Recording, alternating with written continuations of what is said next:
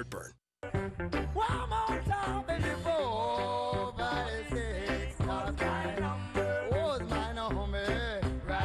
All right, as news continues to trickle out of Edward Snowden's tightly sprung bung of secrets, we're learning the private sector is as sick of spying as you are. A list of tech companies, including Facebook, Google, Twitter, AOL. Are they still in business? Is that? real? Oh my gosh, they are. That's amazing.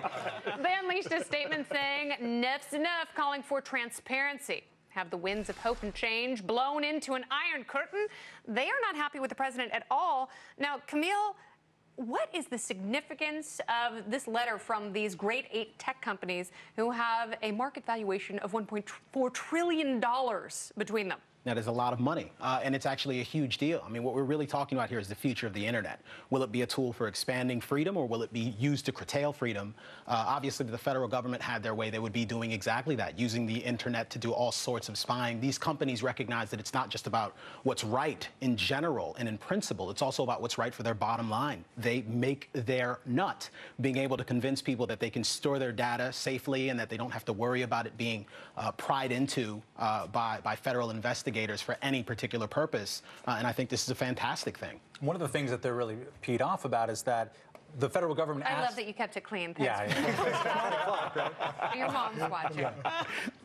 Um, is that uh, is that the government has been demanding records from them in some cases, like in AT&T. They install someone at the NSA Mm-hmm. in the switching room, but they haven't been able to tell their own customers, "Oh, yeah, sorry, by the way, we're sharing all of your data with the government." So they want transparency from the administration to say, "Okay, can we at least tell our own customers who are also what you're off?" asking Right. for and Yeah. what we're giving you because so far that has not been a transparent We relationship. don't even know how often they're asking for these things, which is which is insane. No, and, and Basil, this was supposed to be the most transparent president since the invention of Glad Wrap. but you know, these companies, I, I wonder if these companies are complicit in this. Well, I have to think to some extent they are. I mean, look how long it took for them to actually tell us that these their records were being uh, were, were being solicited from the government. So, having said that, I think you're absolutely right. Their bottom line is really what matters to them here. They're concerned about the chilling effect, and that uh, folks aren't going to want to go on Facebook and put certain pictures and things like that up there. My guess is that the majority of folks that are using these platforms aren't on a day-to-day basis really going to care that much. But I think you're also, you're also right. The as more questions get raised about transparency, and yes, even the president in this, um, as more questions get raised about transparency, I think the the the, the piling on effect uh, is going to be something that is going to eventually hurt their bottom line.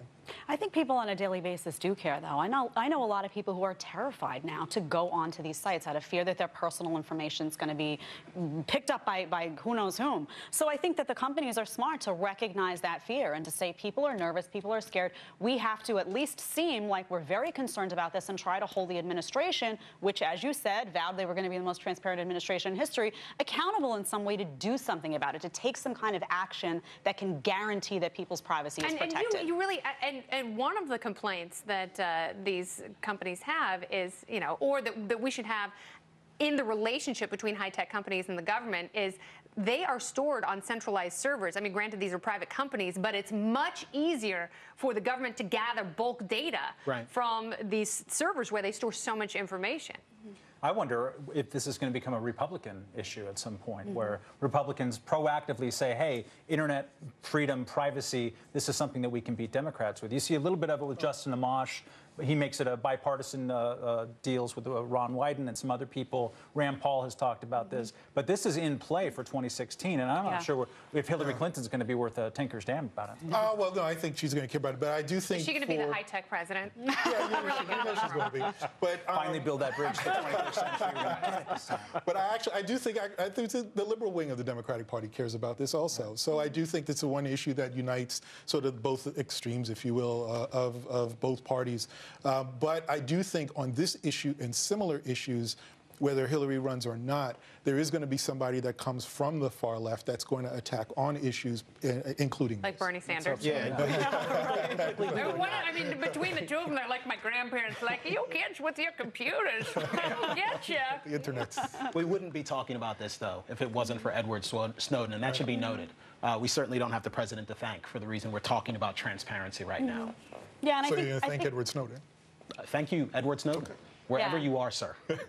I think, Matt, you're right. If, if someone like Rand Paul were to step up to the plate and run for president, I think issues like this that he has made a priority will be key. I think if that libertarian wing of the Republican Party, which is growing and getting stronger, is the direction that the party's going in, I happen to think it is. But I think if you get a candidate that emerges from that, I think the right will become a champion of this issue, and I think that the left will have sort of a problem. All right, is. Jedediah going to be singing "We Are the Champions"? You'll have to wait here and find Absolutely.